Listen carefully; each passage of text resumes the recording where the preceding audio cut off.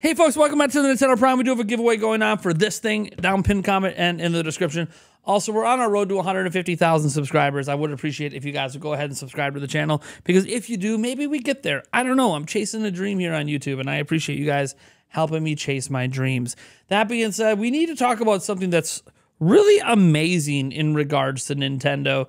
Something that I certainly didn't expect. Maybe I was just, I don't know. I, I, I guess I, don't think I should have expected this. And it's it's especially weird coming off of comments from Shuntaro Furukawa about the declining sales of Nintendo Switch. And that is because articles like this are popping up all over the internet. And this is in regards to their June sales in Japan, where Nintendo Switch has reportedly earned the best ever June sales in Japan. So this this is literally 2017, 2018, 2019, 2020, 21, 2, 3. Like this is the best. There isn't any other year that had better June sales. So those sales hit around 380,000 units, as it says here in the article. Uh, it's going to be probably passing 30 million later this year. And you know what? If it sells an additional 30 million worldwide between this year and next year, it would be the best selling system of all time.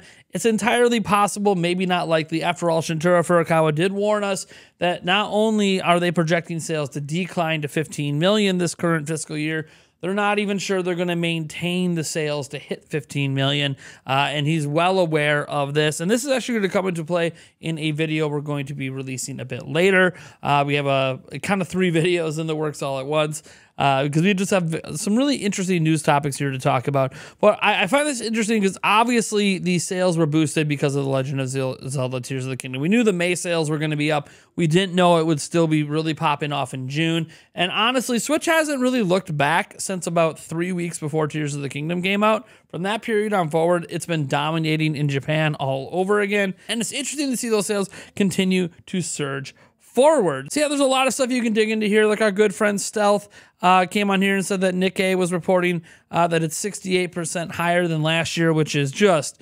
incredible. Uh, and, you know, th- there's a lot of other stuff here. But the point I wanted to really talk about here is how incredible this run has been for Nintendo Switch. Look, we all know that we've talked a ton about Nintendo Switch 2. And in fact, I'm just to give you a teaser. That's what our video after this one's actually about because of something else that's happening. Two other things that are happening one officially from Nintendo, one from an insider. But the biggest thing that I want to focus on here is this generation of Nintendo, whenever it ends, right? This, this current Switch generation, whether it ends this year, next year, 2025 whenever they close it up and move on to the next thing, it has been an incredible journey, unlike anything we've ever seen in Nintendo history. Now, I know we can point to DS and its incredible sales, but DS, despite having those incredible sales, didn't necessarily have the video game sales to back it up. You weren't seeing things like a Zelda game moving 30 million units, an Animal Crossing game you know, moving X. Like you just weren't really seeing this. We saw incredible sales with things like New Super Mario Bros, but we weren't seeing the same sort of success across the board with all of Nintendo's IP. Now, DS was a massively successful generation for Nintendo, and I'm not trying to knock it and knocking the variety of games and the third party games that were a success. But if we're honest, you could just look at the overall sales numbers. Switch has sold more software while selling less units. This is a balance from Nintendo that's never been seen, as Nintendo has really never had one system that combines all their development studios together.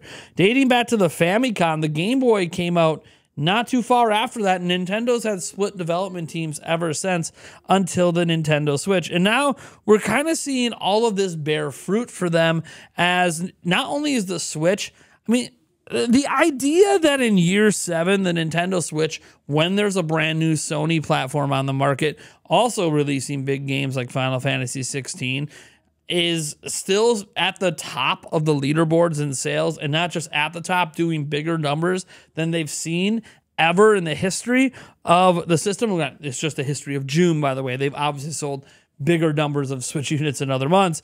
It, it just, it's nice reminder that we are in a generation unlike any other for Nintendo. And all of this happened in the midst of three leadership changes. I mean, think about how tumult how tumultuous the top of Nintendo has really been from a literal standpoint, but how from, you know, an outward look, Nintendo's just doing better than ever. Let's just think about this logically, right? Like Iwata, the late Iwata, Satoru Iwata, he's the one that was the mastermind behind the Nintendo Switch in the first place. And while he didn't get to see it launch, he was the person that was idealizing it and helping it come to fruition. And it was one of his last great ideas. Then all of a, all of a sudden, we had uh, Takahashi uh, take over for a little bit there as an interim CEO, and he got the product launched. And then obviously, a couple years after that, Furukawa stepped in. Oh, and that wasn't the only transition because, hey, a year after that, Guess who stepped down? Reggie Fils-Aimé, who was actually part of the board of directors at Nintendo of Japan. He stepped down and Doug Bowser was promoted. And Doug Bowser didn't take his seat in Japan. He only took over in Nintendo of America. So that seat that Reggie vacated just went away. They didn't replace it with another representative. So Nintendo's had all of this turnover. Meanwhile, you have Miyamoto transitioning into other roles, now focusing on movies and theme parks, which, by the way, Nintendo's dominating there as well. According to the data we have from Universal, it looks like it literally looks like the Universal theme parks for Nintendo are some of the biggest attractions they've ever launched at those theme parks. And they're just opening up more and expanding more and more. We have a Donkey Kong coming later in Japan that's going to later come obviously out to uh, Orlando and, and out in LA, but Hollywood. But hey, we're not done there either because then the Mario movie released and is well, we already know it's either number two or number three, depending on if you count Lion King's uh, remake or whatever. It's it's up there among the best, like highest grossing animated films of all time. And now it's actually landing on Peacock next month, by the way, for those curious. Yep, that's the service it's going to go to. No surprise, that is Universal Service. So it's going to be streaming exclusively on Peacock. It's already been available to purchase through all, all the digital platforms, you know, your TV platforms, your Amazons, etc. And yes, now available to buy physically as well, 4K Blu-rays, 8K Blu-rays, I think I've even seen out there. So look, Nintendo is in a great place. And it's sort of incredible that this is happening you know, growing up, I always thought that might be the best we see Nintendo ever be, right? When when I grew up with the Nintendo Entertainment System and the Super Nintendo and the mega success of the Game Boy through the Game Boy Color, uh, and then when they had that massive resurgence with Wii and DS, you're like, okay, maybe this is the top of the mountain. And even those generations didn't always necessarily feel like they were as much for me as they may have been just to grow gaming in general. You know, this was before smartphones you know, it kind of led into that smartphone tablet era that sort of took over a lot of the market. I think that Wii and DS was sort of expanding into.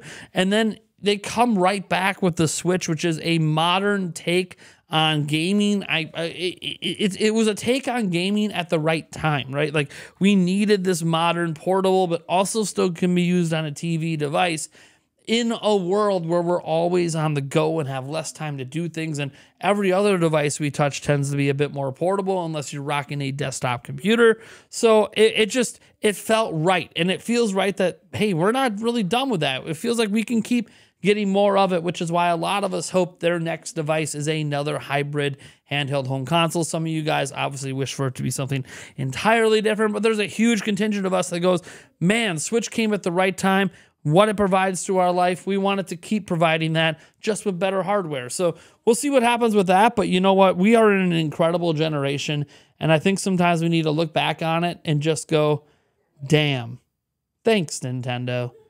Thanks for giving me seven years of amazing gaming memories. And who knows, maybe there's more to come. Mario Wonder's on the way, Peach game. Super Mario RPG's coming back. Heck, Luigi's Mansion, Dark Moon 3D. Oh, I guess HD.